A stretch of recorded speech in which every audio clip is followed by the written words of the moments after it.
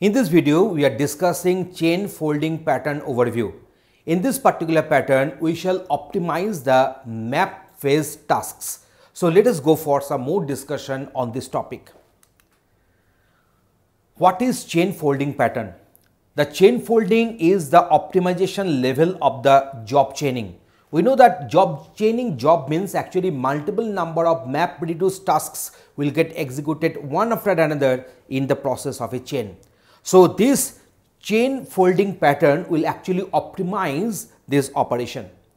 And when there is one large job chain, then we need to use this chain folding mechanism to combine map phases to optimize the total task. So, whenever a chain is having multiple number of map reduced tasks, then this particular design pattern can be used so that we can combine the operations to be done in the map phases so that the process will become as a whole optimized and lesser amount of data transfer will take place. So, it reduces the amount of data movement in the map reduce pipeline. So, let us give you one example for the better concept. So, here you can find we are having two map reduce tasks. So, there are two tasks are there. So, comments are coming and then here in this phase in the mapper phase we are doing filtered out teenager comments so, it is doing this one.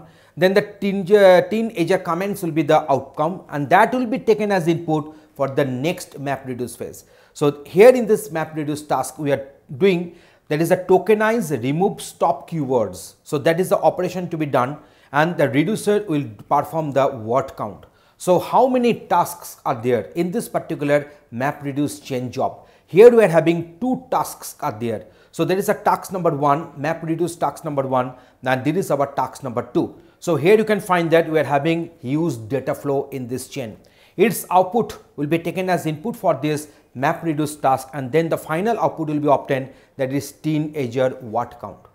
So, now in case of chain folding pattern we can do this one in this way we are going to do the optimization of the map phase processes and tasks. So, comments will be taken users are there and then we are having this map filtered out teenager comments and also tokenize remove stop words and then reduce will be coming the reducer the reducer will do the word count and the final teenager word count will be obtained.